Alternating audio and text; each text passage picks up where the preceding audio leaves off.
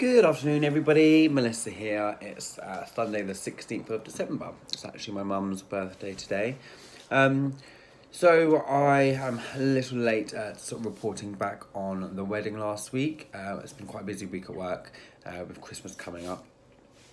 Um, so I, um, yes, so the week has been really good. One thing that has been annoying me a little bit though, um, is actually the Christmas songs, not for them being played, but I'm a little bit sad that they're taking the word faggot out of um, the fairy tale of New York. Um, I'm probably really un PC for saying that, but I don't care.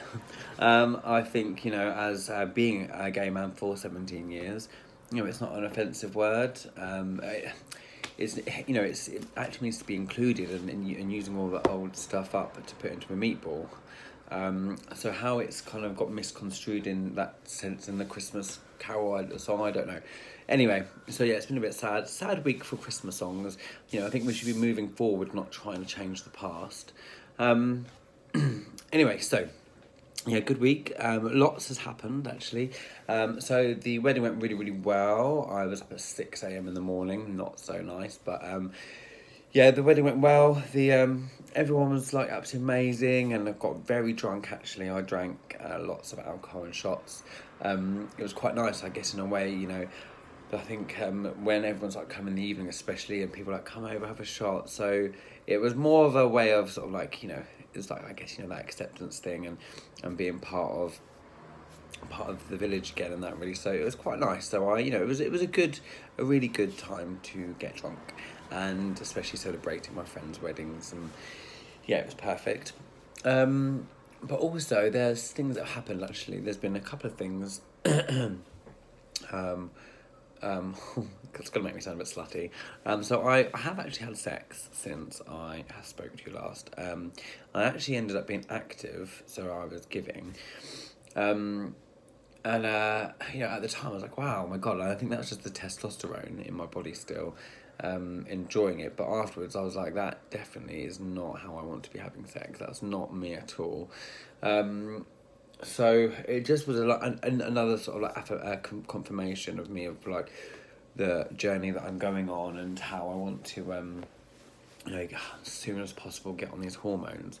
Because actually, I do feel a bit like having this testosterone in my body still um, I'm still very, very horny, and I, you know, I feel like it's actually getting away, getting in the way of my, my progress in work, and you know, where I'm just, you know, maybe thinking about sex too much. I really want to be thinking about, you know, my success as a businesswoman and um, and growing that way, and, and having my mind maybe less less focused on on sex.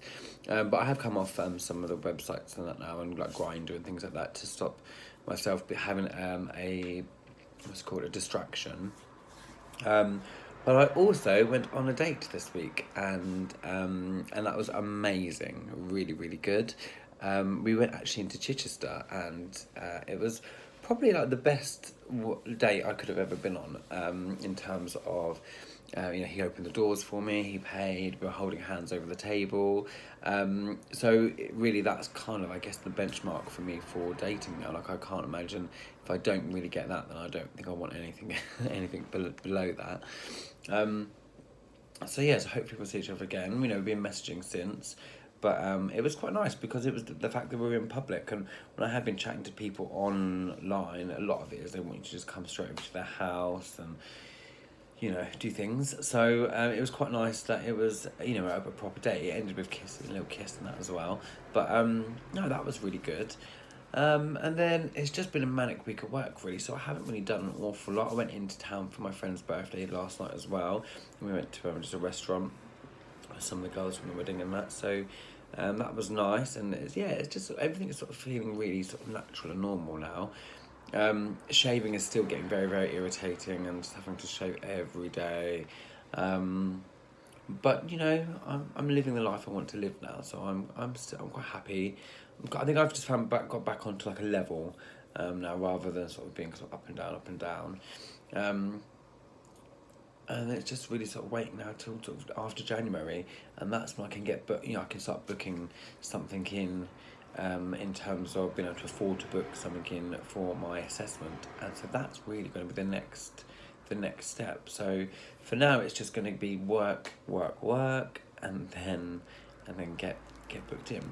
So it was just a little check in today. Nothing too big, nothing too small, but um, just that I'm feeling really really good. I Obviously, want to spend more money on clothes.